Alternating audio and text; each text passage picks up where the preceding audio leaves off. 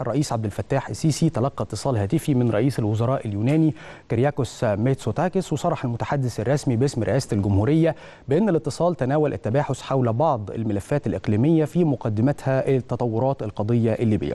استعرض السيد الرئيس ثوابت ومحددات الموقف المصري تجاه الأزمة في ليبيا لا سيما فيما يتعلق بتقويض التدخلات الأجنبية غير الشرعية في الشأن الليبي التي تزيد من تفاقم الأوضاع الأمنية على نحو يؤثر على استقرار المنطقة بالكامل ومن جانبه أشاد رئيس الوزراء اليوناني بالجهود المصرية المخلصة وجهودها الدؤوبة الرامية إلى تسوية النزاع واستعادة السلام في كافة الأراضي الليبية. وأكد أهمية العمل على العودة إلى المسار السياسي كحل أصيل للأزمة الليبية وده بما يتسق مع القرارات الأممية ذات الصلة ومخرجات مؤتمر برلين مع رفض أي تدخل خارجي في هذا الخصوص. كما تم تناول سبل تعزيز مسيرة التعاون المشترك اللي بتجمع البلدين على مختلف الأصعدة سواء بقى على الصعيد الثنائي أو في إطار آلية التعاون الثلاثي بين كل من مصر وقبرص واليونان.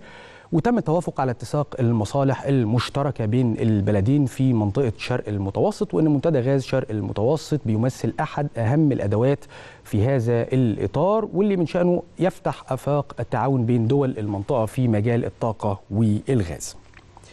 الحقيقة إنه التعاون مستمر ما بين الدول الثلاثة مصر وقبرص واليونان. علاقات ضاربة في الجذور من أكثر من 300 سنة قبل الميلاد وبيجمعهم منتدى غاز شرق المتوسط. زيارات متبادلة من أول 2014 لحد السنة دي أو لحد 2019 في قمة ثلاثية ثابتة كل سنة بتجمع رؤساء الدول الثلاثة للتباحث بشأن القضايا العالقة والتي تجمع الدول الثلاثة. ومنتدى غاز شرق المتوسط اللي هذه الهيئة اللي تم مقرها في القاهرة وانطلقت في 2019 لتسهيل الأمور على الدول المنتجة للغاز والمستهلكة للغاز لتحقيق أقصى استفادة ممكنة. والحقيقة إنه الشهر اللي فات كان في زيارة لوزير الخارجية اليوناني لمصر بشأن إعادة المفاوضات أو فتح الملف المفاوضات مرة أخرى لترسيم الحدود البحرية في المنطقة الاقتصادية للبلدين واللي من شأنه إن شاء الله أنه يقطع طرق على قراصنة البحر الأبيض المتوسط وأي دولة بتفكر إن هي تنقب عن الغاز في